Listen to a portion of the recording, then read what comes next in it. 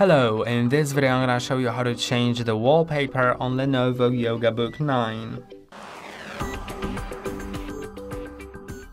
In order to change the wallpaper, um, you can do it in two methods. The first one is like very quick. You just need to have a photo that you want to set as your wallpaper. You can have it in there on your either on your desktop or somewhere in your file explorer. So I'm gonna get to that file explorer. You can see um, I may have some things in the picture uh, section and if you find this photo, press and hold on it or right click if you're using a touchpad or a mouse and you'll see set as desktop background and that'll set it. But also you can go to the settings and in the settings you'll find personalization and uh, then background. Here you can personalize your background. Uh, by default it's set to Windows Spotlight so it'll automatically set a random view um, as your background or mm, you can set it as a picture and you can select which picture to set it as.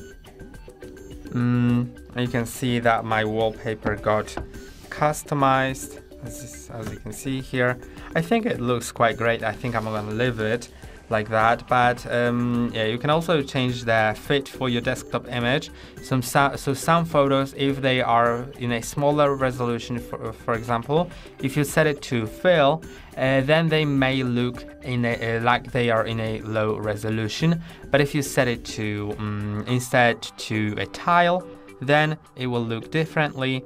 But um, if you want that picture to be perfectly centered, um, set it to fill. If you want it to, um, if you want the whole picture to fit on the screen, if it's not in 16 by 9 aspect ratio, then you may want to set it to fit. Then, and that'll mean that um, the sides of the picture or uh, the top and bottom may be just a certain color that you set.